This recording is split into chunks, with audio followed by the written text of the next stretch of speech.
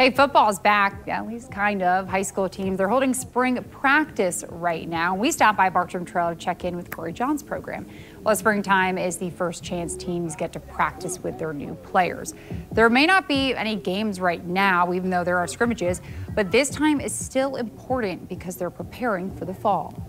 I think it, it gives you an accelerated period to, to teach guys, and the young guys get to uh, you know, experience it too, to where we're concentrating on all of it. No, there's no JV, there's no um, JVA or B. We're all together and we're learning the same stuff. So I think it builds a base knowledge for them, and then we just, you know, extrapolate it for the older guys and, and try to add on to the things that we've already done, uh, which I think we've done a pretty pretty good job in the last. This will be our eighth practice.